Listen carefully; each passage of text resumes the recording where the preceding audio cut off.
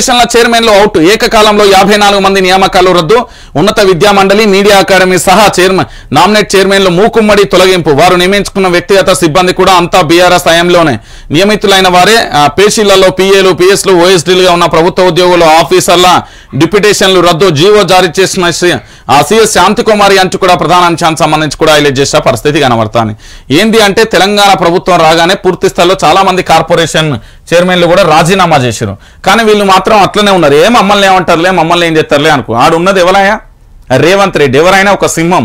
పట్టి పంజా వేసింది అనుకో అందరి బతుకులు ఆగం చేస్తాడు. ఎందుకు అంటే ఇక్కడ అవినీతికి పాల్పడిన ప్రతి ఒక్కరికి మీద వాళ్ళ జీవితాల మీద ఇప్పుడు దెబ్బ కొడతాడు చూడు. ఎందుకు అంటే వాళ్ళ వల్ల బలైన వాళ్ళు చాలామంది ఉన్నారు. ఇప్పుడు పోలీస్ శాఖకు సంబంధించే ప్రక్షాళన విచారణ చేస్తున్నాడు అంటే ఆ వ్యవస్థల మీద సీఎం కాక ముందుకు ఎంత మంచి డ్రాఫ్ట్ అంటే ఏం చేయాలి ఎట్లెట్ల ప్లానింగ్ అనేది ఆయనకు చాలా క్లారిటీగా కూడా వ్యూహాత్మకంగా ఉన్నది అని చెప్పడంలో ఎలాంటి డౌట్ లేదు. కానీ కార్పొరేషన్ చైర్మన్లకు సంబంధించి మేము జర్నలిస్టులం కదా లేకపోతే మాది విద్యకు సంబంధించి విద్యా మండలి కదా మమ్మల్ని ఏమంటలే అనుకున్నాడు. కానీ ఆయన బీఆర్ఎస్ సర్కార్లో ఉన్న ప్రతి ఒక్కరిని కూడా ఏరి పారెత్తాడు. మనందరికీ తెలిసిన విషయమే ఇప్పుడే అది అది కూడా జరిగింది అని చెప్పడంలో ఎలాంటి డౌట్ లేదు.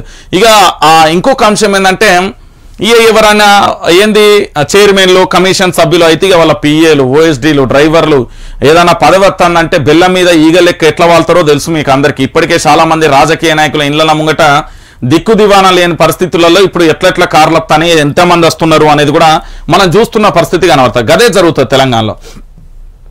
సో మొత్తానికి కార్పొరేషన్ చైర్మన్లకు సంబంధించి ఏం చేసిండు అనేది చూడాలి.